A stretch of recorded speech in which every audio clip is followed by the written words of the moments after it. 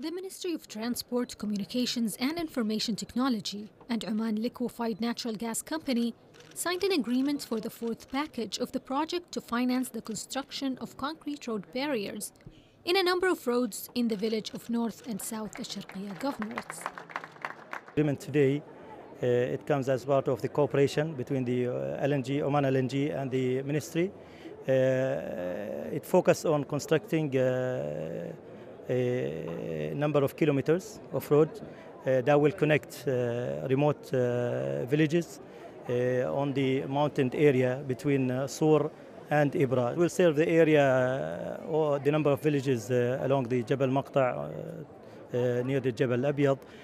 also, there is a school that will definitely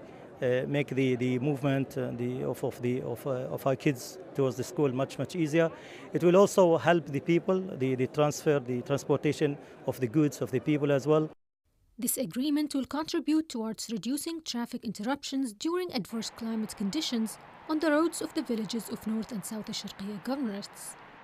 MOU will focus on uh, signing a, a, project and developing the, the villages between South and North uh, Sharqiya government and we will focus on uh, having يعني, it will be more easy to, for the public to move and uh, increasing the, the tourists in the, in the area where the project will focus on having some uh, roads for this village in length with more than 10 kilometers inshallah which will also يعني, will make it easy for the citizens to move and, and make it easy for uh, transport in that location.